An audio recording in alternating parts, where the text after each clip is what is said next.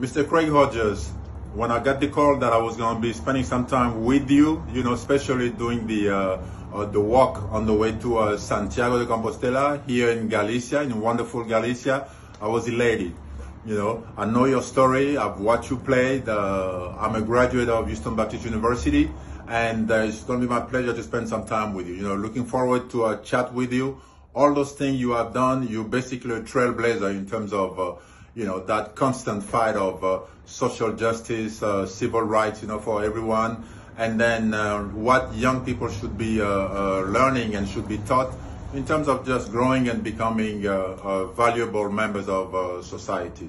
So Craig, I'm looking forward to seeing you. My name is Anicet, Anicet Lavodrama, and Bembido a Galicia.